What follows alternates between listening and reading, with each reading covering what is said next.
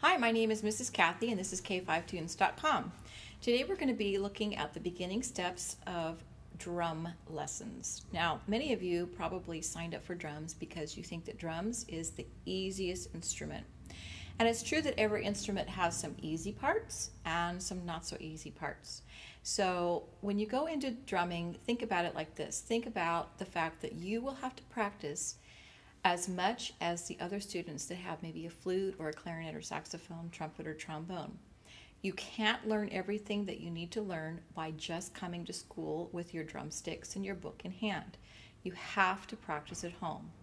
Uh, today I'm going to be teaching you a little bit about how to hold the drumsticks and the various methods, also where your drum pad should be when you're practicing at home or at school. Now, the most ideal thing is for you to have a drum pad that sits on maybe a cymbal stand or it has its own stand.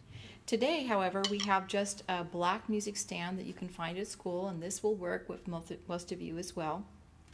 And I have the drum pad that just simply sits on the top of a snare drum. The reason that we start you out with a drum pad is because, as you know, drums are very loud, and the drum pad is a good way for you to begin the process of understanding where the beat lies and where the rhythms are in the particular song that you're practicing. So I want to make sure that you understand that your drum pad is just the beginning portion of your drum experience. Later we'll graduate to a snare drum. You'll still be standing while you play the snare drum. Snare drums many times will come with a drum kit and that's when you sit so you want to make sure that your the stand that goes with your drum that you'll be using at school is one that you can raise so that it's at the right level when you stand because you won't be sitting and playing at the elementary level. I have this stand slightly below my waist and that's the perfect place for you to be able to have your drum pad and so if your teacher has a black stand that you can put it place it on that's a better situation than if you were going to put it on a very low table where you're having to drum very very low now you can choose a variety of sticks and you should probably choose the stick that feels the best in your hand there are lots of different sizes and I brought two today because you can kind of see that one of them one set is is quite a bit fatter than another set. The diameter um, is fatter. And for my hands, I like the thinner ones, but maybe you like the thicker ones. It doesn't really matter. Um, when you go to the music store, the salesperson will help you determine maybe what stick might be better for you. And when you get more advanced, they'll be rolling your sticks and making sure that they're even and, and evenly weighted and all that. But for now, the most important thing is to make sure that you feel comfortable holding the stick. So I'm going to set these other sticks aside for now.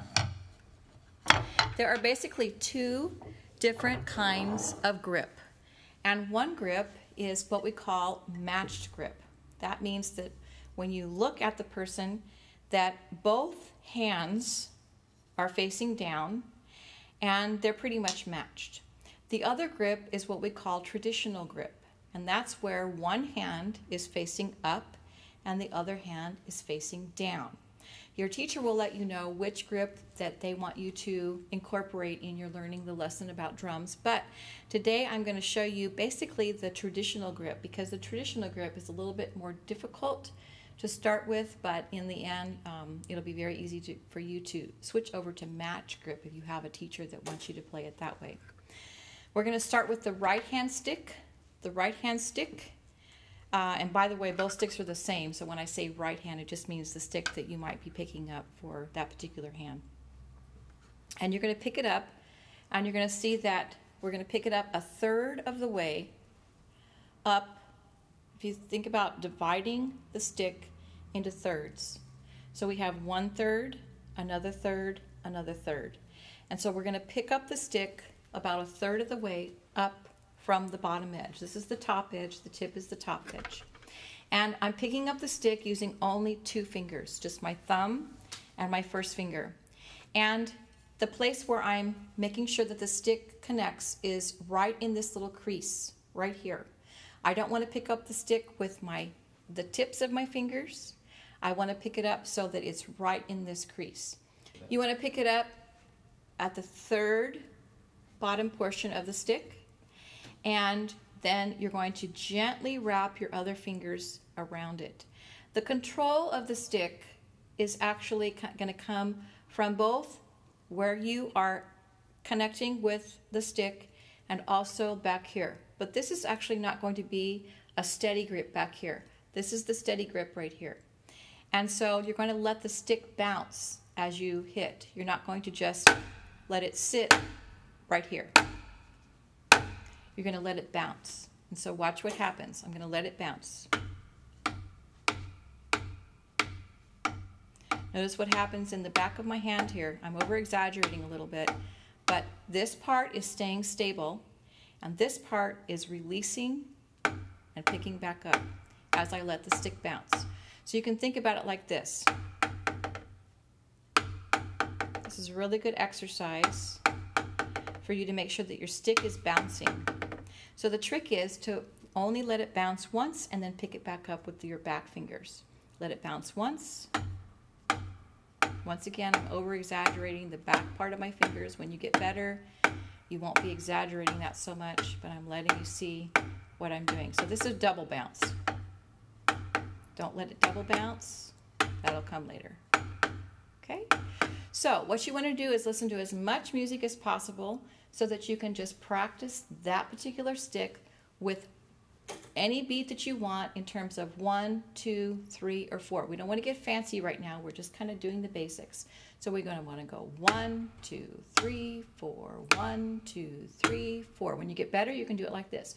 One, two, three, four. Or maybe you want to go one, two, and four. One, two, three, four. But it's always the same grip. Now, I want to go on with the left hand.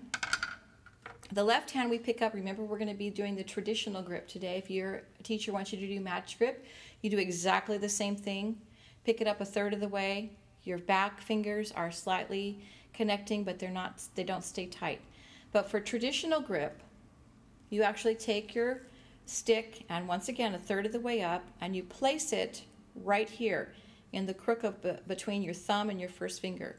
And that's where you're going to be actually grabbing the stick and then the rest of the stick goes between your third and fourth finger. This is where the connection is made all the time. You don't lose grip of that, but then the control will be here. And this hand then stays up as opposed to turning over like this. So this hand, you're going to be doing the same thing, and you're going to be releasing, having the stick bounce one time, and then picking it back up. So you're going to be releasing, and once again, it's the back fingers that help release it and pick it back up. And once again, I'm over exaggerating so that you can see that finger. Now, once again, you don't want to do this, where you're just hitting on the drum pad, but you're letting it bounce. So let's see if I'm bouncing it. Ah, that's many bounces. This hasn't changed. This is still gripping. This is one reason why for me personally, I have a hard time with, there goes a stick. I have a hard time with, I have a really hard time with gripping the larger stick. Maybe my hands aren't strong enough to really grip that stick, and you might have the same problem. So I want to grip it with, I want to grip this smaller stick. It just feels better to me. So I'm going to let it bounce and then pick it back up let it bounce, pick it back up. You'll need to practice this grip between the right hand and the left hand several times before you put them together.